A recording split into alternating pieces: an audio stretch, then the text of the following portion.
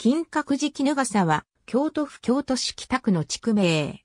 地域としては、絹笠の他に、東神や小松原、平野、北野、大北山などの全域や一部を含むが、そのうち、絹笠を干渉する町名は23に止まる。本校では、同区域に、かつて存在した、葛野郡絹笠村についても述べる。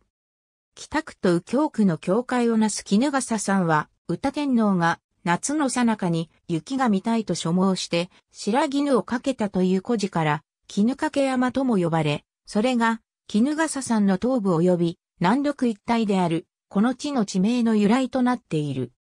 六音寺、東神院、新如寺など臨済宗の名刹、桜の名所として有名な平野神社、8月16日の夜の伝統行事である京都御山送り火の一つである大文字山や農耕と安産の神様として親しまれている敷地神社など多くの名称、旧跡に恵まれ、京都府立道元印象美術館や立命館大学絹笠キャンパスなどの文化施設や文教施設も立地している。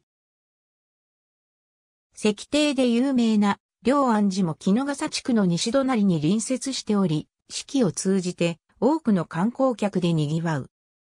左京区北白川が学者、学生の町として第二次世界大戦前から得意な存在を誇ったのと同じように、日本画の画材となる自然が溢れ名刹にも近く、京福電気鉄道や路線バスでの佐賀の嵐山へのアクセスにも便利な木の笠地区周辺には、大正末から昭和50年代頃まで、道元印象、福田平八郎、徳岡上泉、小野秩京、山口海洋、木島桜谷、菊池義文、土田幕船、菊池慶月、金島慶歌といった日本画の大家とその門弟が集まった。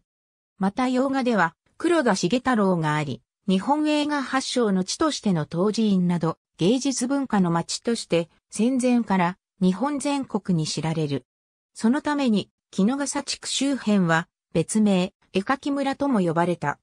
かつては東脇沼当時院撮影所や、プロ野球小地区、ロビンスのフランチャイズ球場であった絹笠球場や、京都府立図書館状況文館が存在した。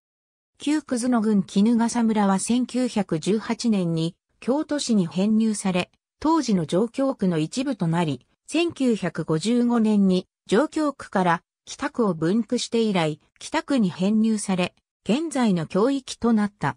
地域内を走る鉄道はなく、路線バスのみ。括弧内は、生没年、生前の居住地の順に記す。ありがとうございます。